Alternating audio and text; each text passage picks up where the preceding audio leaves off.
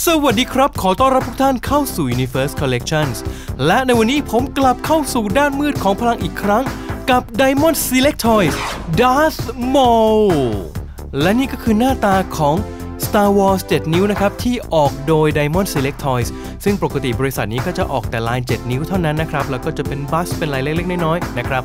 หน้าตาเป็นแบบนี้เลยแพ็กเกจนะครับเป็นสีขาวนะครับและแถบด้านซ้ายมือก็จะเป็นรูป Darth Vader เขียนว่า Darth Maul นะครับแล้วก็นี่ของแถมเต็มเลยฮะ เดี๋ยวเรามาแกะดูกันอีกทีหนึ่งนะครับ ตัวนี้เป็นตัวที่2นะครับของลายนี้ตัวแรกเป็น Boba Fett นะครับ และตัวที่ 2 ก็คือ Darth Maul และด้านล่างก็จะเห็นสติกเกอร์นี่ Wing Wing Exclusive นะครับ ขายเฉพาะใน Disney Store เท่านั้น และด้านข้างก็จะเป็นรูป Darth Maul จาก Episode 1ที่เราคุ้นเคยกันครับ และด้านหลังก็จะเป็นข้อมูลของสินค้านะครับ ว่าเป็นบริษัทนี้ผลิต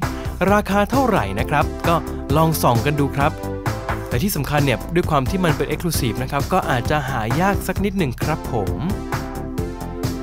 สำหรับของบริษัทนี้นะครับข้อเสียเดียวที่ผมไม่ชอบก็คือการที่แพ็คเป็นแบบนี้ ซึ่งถ้าเราอยากจะแกะของเล่นออกมาเราก็ต้องกรีดแพ็คแบบนี้แหละครับ เสียหายกันไป น่าเสียดายจริง ๆ ครับเอาละครับเมื่อแกะออกมาแล้วเราจะเห็นแคตตาล็อกของสินค้าบริษัทนี้ที่แถมมานะครับก็จะเป็นบริษัทเดียวกันกับ Gentle Giant นะครับก็จะมีทั้งเอ่อ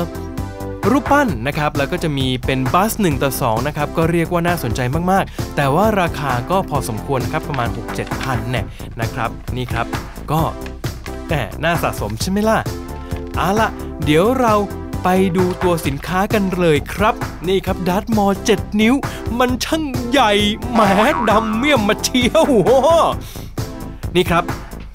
บริษัทนี้นะครับก็ขึ้นชื่อเรื่องการปั้นว่า ปั้นมาสวยอยู่แล้วนะครับ ทั้งใบหน้าแล้วก็ริ้วรอยผ้านะครับ ลองส่องกันดูดีๆครับนี่ครับ แต่สิ่งที่ผมสังเกตเห็นนะครับ ผมรู้สึกว่าพลาสติกที่เขาใช้เนี่ยมันดูมันเกินไปหน่อยครับ ดูรู้เลยว่าเป็นพลาสติกนะครับ แต่นอกนั้นเนี่ยลวดลายต่างๆ ไม่ว่าจะเป็นที่ใบหน้า หรือว่าเป็นริ้วรอยผ้าเนี่ยดูเหมือนมากๆเลยแหละครับ ถ้าเกิดแหมเพ้นเป็นสีแบบ ด้านๆนะผมว่าสวยเลยล่ะครับ ลองส่องรายละเอียดดูนะครับจากที่ดูคร่าวๆเนี่ยนะครับ ผมรู้สึกว่ามันคล้ายๆกับ Darth Maul ที่เป็น Hasbro Wave แรกอะฮะ คล้ายๆเลยนะครับ แต่ว่าก็ต้องยอมรับว่าเอ่อ Diamond Select เนี่ยเขาปั้นค่อนข้างสวยจริง ๆ ครับ แล้วก็ด้วยความที่ขนาด 7 นิ้วนะครับก็จะใหญ่เต็มไม้เต็มมือนะฮะมีน้ำหนักนะครับนี่ครับ แล้วก็ลองมาส่องรายละเอียดด้านหลังดูครับ เรื่องงานปั้นนี่ผมไม่ห่วงนะครับ เพราะว่าจากที่รู้จักบริษัทนี้มาเนี่ยตั้งแต่โบราณโบราณนะออก Marvel Select นะครับก็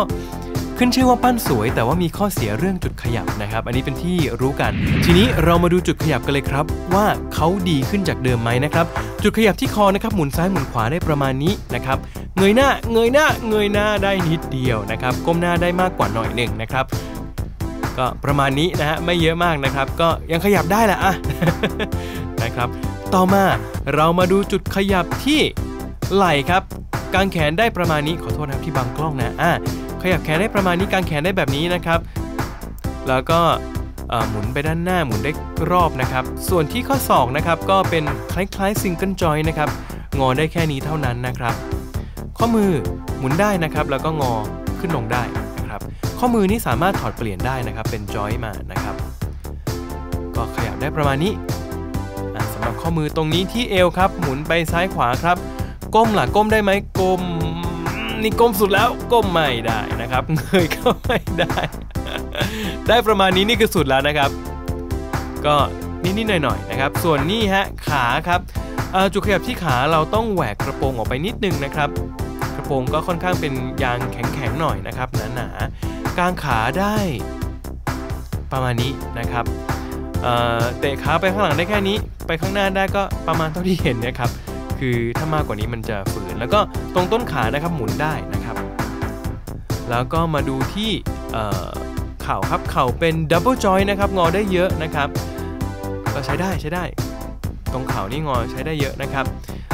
อ่าแบบนี้นะฮะแล้วก็ข้ามมาที่ข้อเท้าเลยนะครับ ตรงต้นขาไม่ไม่มีจุดขยับนะครับ แล้วก็ข้อเท้าหมุนไปซ้ายขวาได้นะครับ ขึ้นลงได้แบบนี้ นี่ก็เป็นจุดขยับของเขาแล้วครับ ต่อมามาดูที่ของแถมนะครับ เขาอาจจะบอกว่าอะจุดขยับน้อยหน่อย แต่ว่ามาจัดเต็มที่ของแถม accessories นะครับ นี่แหละฮะ อันนี้เป็นเอฟเฟกต์แรกที่ให้มาก็เป็นเอฟเฟกต์แบบเดี๋ยวเราจะเอาตัวนี้นะครับไปเสียบกับตัว lightsaber ด้านหลังนะครับ ให้เป็นเอฟเฟกต์เหมือนแบบโดน Battle Droid ยิงมา แล้วก็เป็นปืนกระเด็นไปอย่างนี้แสงกระเด็น แล้วก็นี่ครับเป็น lightsaber ที่เป็นแบบหมุนนะฮะเอฟเฟกต์แบบหมุนวุมวุมวุมวุมวุมนี่ก็จะมีแบบให้เห็นว่า lightsaber หมุนได้นะครับ แล้วก็นี่ครับตัว lightsaber ตัวด้ามนะครับ ก็ paint สีมาดีนะฮะ ไม่มีสีเลอะไม่มีอะไรแต่อย่างไรนะครับ แล้วก็ถอดครึ่งหนึ่งได้นะครับ นี่ก็เป็นตัว lightsaber ธรรมดาสีแดงนะครับ แล้วก็มือที่แถมมาให้นะครับ ก็มีอีก 2 คู่เป็นแบบกำ lightsaber ซ้ายขวา แล้วก็เป็นแบบกำหมัดนะครับ และนี่ก็เป็นภาพนะครับเมื่อนำเอฟเฟกต์มาใส่กับ lightsaber นะครับ เป็นเหมือน สะท้อนปืนเลเซอร์ยิงกลับไปประมาณนี้นะครับ นี่ครับ ภาพรวมก็ถือว่าโอเคนะครับ น้ำหนักใช้ได้ของแถมโอเค จุดขยับน้อยหน่อย และนี่ก็เป็นเอฟเฟกต์ที่ผมบอกนะครับ เหมือนกับทำดาบหมุนบึมบึมบึมบึมบึมบึมนะเท่ก็ตรงนี้แหละผมว่านะครับ และต่อมาเรามาเปรียบเทียบขนาดกันครับ ทางซ้ายมือคือ Darth Vader ของ Hasbro นะครับ และทางขวามือคือ Figure Art บั ตัว Darth Maul นะครับตัวเตี้ยกว่ากันเยอะเลย 6 นิ้วกับ 7 นิ้วนะครับซึ่งบันไดก็จะตัวเล็กกว่า 6 นิ้วด้วยกันอยู่แล้วนะครับนี่ก็เลยกลายเป็นแบบพ่อลูกไปเลยนะฮะต่อมามาเทียบกับ 7 นิ้วด้วยกันนะครับทางซ้ายมือเป็น Bruce Lee ของ Diamond Select ทางขวาเป็น The Witcher ของ m c f a r l a n e Toys นะครับก็จะไซส์ใกล้เคียงกันนะครับ 7 นิ้วด้วยกัน ก็เล่นด้วยกันได้ครับ ต่อมาครับมาเทียบกับ Mythic Legion นะครับซึ่งก็จะสเกลประมาณ 6.5 นิ้วนะครับก็ยังพอเล่นด้วยกันได้อยู่ แล้วก็เทียบกับ 7 นิ้วของ Warhammer ที่เป็น m c f a r l a n e Toys ทำนะครับต่อมาเทียบกับ Storm Collectible นะครับแล้วก็ทางขวาเป็น NECA นะฮะเอาละครับก็พอจะเห็นภาพคร่าวๆแล้วนะครับว่า Diamond Select Toys ตัวนี้ 7 นิ้วเนี่ยผมยอมรับว่าจุดขยับเนี่ยเขาดีกว่าสมัยก่อนมากๆนะครับขยับเล่นสนุกดีนะฮะแต่ว่า ก็ต้องยอมรับว่ายังอาจจะขยับได้ไม่เยอะเท่ากับ 7 นิ้วด้วยกันยี่ห้ออื่น ไม่ว่าจะเป็น NECA หรือว่า m c f a r l a n Toys นะครับ แต่ก็เป็น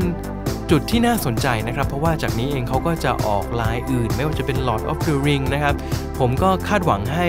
จุดขยับเขาดีขึ้นไปเรื่อยๆนะครับ เพราะว่าผมก็ไม่เข้าใจว่าตอนนี้ลาย 7 นิ้วเนี่ยค่อนข้างจะมาแรงนะครับ ก็นะเรียกว่าคนเล็กอยากใหญ่นะครับ ลายของเล่นก็ตัวใหญ่ขึ้นเรื่อยๆนะฮะก็ รอดูครับว่าทาง Diamond Select Toys จะออกตัวอะไรมาอีกนะครับ แล้วก็ถ้าผมมีโอกาสผมจะไปจับจอง Boba Fett ที่เป็นตัวแรกของลายนี้มารีวิวกันนะครับ เอาละครับสำหรับวันนี้ต้องขอลาไปก่อน แล้วพบกันใหม่คลิปหน้า สวัสดีครับ